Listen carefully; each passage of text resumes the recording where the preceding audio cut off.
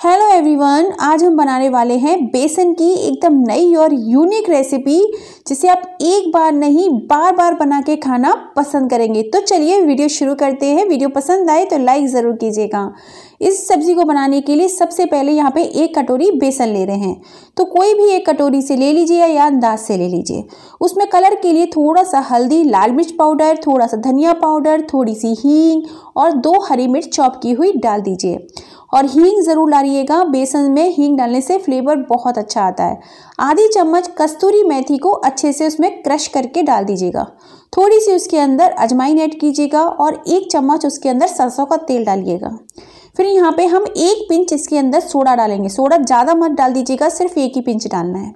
अब यहाँ पे मैंने तीन चम्मच दही इस्तेमाल किया है, क्योंकि दही मेरा थोड़ा पतला है। अगर आपका दही थिक है तो आप एक से डेढ़ चम्मच डालिए। जो बेसन का डो है, हम दही से लगा रहे हैं, इसमें पानी का यूज़ नहीं करेंगे। यानी आप दही इतना डालिए कि आपका जो बेसन जितना भी ले रहे हो, उसका एक टाइट डो लग जाए।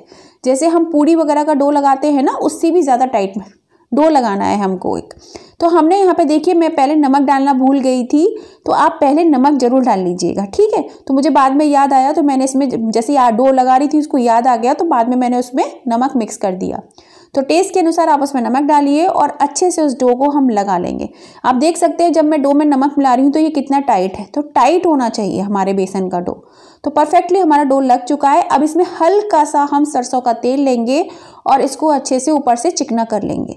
जैसे जैसे हम चिकना करेंगे ना, ये देखना एकदम बेसन चिपकना बंद हो जाएगा। जैसे हम सरसों का तेल ऊपर से लगाएँगे तो ये बेसन का चिपकना जो होता है, बेसन चिपकता है, हाथों, वो चिपकेगा नहीं। और इसको हम 10 मिनट के लिए रेस्ट पे छोड़ देंगे। ठीक है, देखिए, ये 10 मिनट हमने इसको रेस्ट पे छोड़ दिया था। अब 10 मिनट के बाद हम इसके छोटे छोटे से पेड़े से तोड़ लेंगे। यानी हमें छोटे छोटे से इसके लोईस तोड़ लेनी है, इस तरीके से। और फिर इसको एक राउंड की शेप दे देनी है चिकना। और इसको लंबे लंबे जैसे सांप होते हैं ना लंबे लंबे स्नैक स्टिक, आप कुछ भी बोल सकते हो। एक प्लेटफॉर्म पे ले लीजिए, चॉपिंग बोर्ड पे लीजिए, आप उन्हें लंबा लंबा ऐसे बना लीजिए सेब की जैसे आपके घर में छोटे बच्चे हो ना तो ये काम उनको दे दीजिए। डेफिनेटली वो बहुत ही अच्छे से करते हैं। अभी वेकेशन टाइम चल रहा है तो बच्चों को बहुत मज़ा आता है इस तरीके का काम करने में। तो मैंने भी सिर्फ़ आपको दिखाया था, बाकी का सारा काम मेरी खुद बेटी ने किया। उसे भी बहुत मज़ा आता है इस तरह की चीज़ें करने में। तो ये देखिए, सब मेरी बेटी नहीं देखी, ये सब बना के वही दे गई है। तो इस तरह हमने देखी, काफ़ी सारे अच्छे लंबे लंबे इसके सेब बना लिए।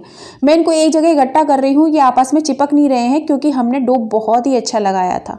अब इनको घुमा घुमा के छोटे छोटे से सेप में तोड़ लीजिए। आप चाहो तो स्टार्टिंग में ही जब बना रहे थे ना, उसी समय तोड़ते जाइए, पर मुझे आपको दिखाना था। तो मैंने इसी चक्कर में लंबे लंबे, उसको मज़ा आता है तो लंबे लंबे बना लीजिए और फिर ऐसे छोटे छोटे तोड़ लीजिए। आपस में देख लीजिए, ये बिल्कुल भी नहीं चिपक रहे। अब जिस बर्तन में हमने वो बेसन के डो को लगाया था, उसी में पानी डाला और उसको खतकाने के लिए रख दिया था, जितनी देर में हम ये सेब बना रहे थे। तो बर्तन भी गंदे नहीं होंगे और उसमें बेसन का फ्लेवर भी है तो उसी बर्तन में जब पानी में खदक आने लग जाएगी ना, तभी वो बेसन के सेब डालेंगे। आप देख सकते हैं, जब मैंने बेसन के सेब डाले तो वो नीचे चले गए। जैसे जैसे वो पानी के कॉन्टेक्ट में आएँगे, यानी को थोड़ा गर्म होते जाएँगे, वो सेब ऊपर आते जाएँगे। तो आपको यहाँ पर देखने की ज़रूरत नहीं है, मीडियम गैस करके दस मिनट के लिए छोड़ दीजिए, आपके सेब अच्छे से कुक हो जाएँगे टेन मिनट के अंदर। जब तक वो कुक हो रहे हैं, हम आगे की करते हैं प्रिपरेशन इसके लिए मैंने आज दो टमाटर, एक हरी शिमला मिर्च, आधी कटोरी मटर ली है, चार पाँच हरी मिर्च ली है, एक इंच अदरक का टुकड़ा लिया है। और मटर ये कच्ची हैं बॉयल की हुई मटर नहीं है। ठीक है, एक मिक्सी का जार ले लेंगे। उसमें जो चीज़ हमने चॉप की हुई मतलब निकाली है ना, मटर, शिमला मिर्च, टमाटर और हरी मिर्च, अदरक, सब कुछ इसके अंदर डाल के इसकी प्यूरी बना लेंगे। तो यहाँ पे हम इन सारी चीज़ों को डाल के अच्छे से इसकी प्यूरी बना लेंगे ये देखिए, इस तरह से ये प्यूरी बन के रेडी हो जाएगी। ठीक है? ये प्यूरी बन चुकी है। चलिए तो अब हम चलते हैं इसकी आगे की प्रयोग यहाँ पे हमने रख दी है कढ़ाई। उसमें डाला हमने आधी कटोरी कुकिंग ऑयल तो यहाँ हम कुकिंग ऑयल का इस्तेमाल कर रहे हैं। अब उसके अंदर आधी चम्मच जीरा और आधी चम्मच डालेंगे काली राई। ठीक है? और हींग डालेंगे, फिर आधी चम्मच हल्दी पाउडर, एक चम्मच धनिया पाउडर, एक चम्मच लाल मिर्च पाउडर। मिर्च आप अपने हिसाब से तीखा कम ज़्यादा कर सकते हैं, ठीक है? ये हल, गैस को इस समय स्लो रखेंगे, वरना मसाले हमारे जल जाएँगे, गैस एकदम स्लो होनी चाहिए। जो प्यूरी हमने पीसी थी ना, मटर और टमाटर, शिमला मिर्च की, वो इसके अंदर डाल देंगे।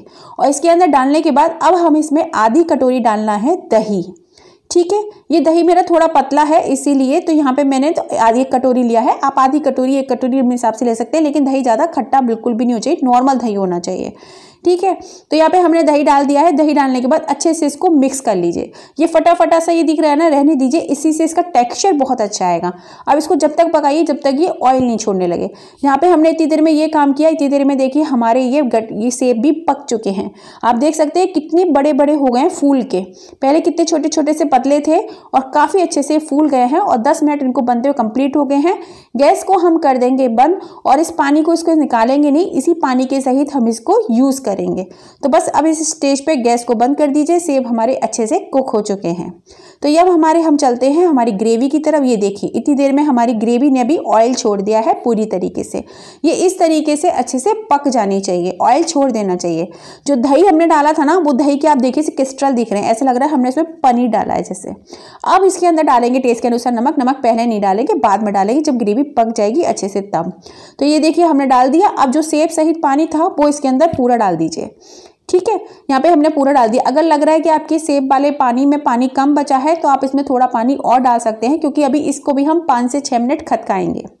आधा चम्मच यहाँ पे हमने गरम मसाला डाल दिया है।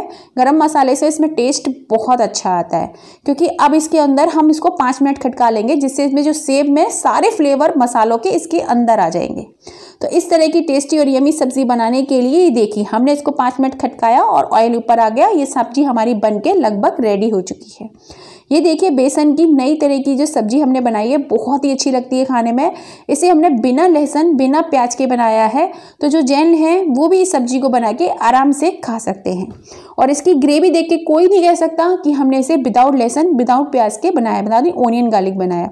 और खूब सारा हरा धनिया डाल दीजिए। भाई, हरे धनिया के बिना तो कोई भी सब्ज़ी अधूरी होती है। और मेरा तो बहुत ही ज़्यादा फेवरेट है हरा धनिया। मतलब हरे धनिया के बिना मुझे ऐसा लगता है सारी सब्ज़ियाँ ही अधूरी होती हैं। तो गाढ़ी पतली आप अपने अनुसार रख लीजिए कि आपको कितनी थिक रखनी है, कितनी पतली रखनी है। वैसे ही सब्ज़ी थोड़ी ठंडी होने के बाद तो थोड़ी गाढ़ी होने लगती है, ठीक है? क्योंकि बेसन की सब्ज़ी है तो थोड़ी गाढ़ी होने लग जाती है। मैंने अभी मीडियम ही रखी है, ना गाढ़ी पर है, ना पतली रखी है।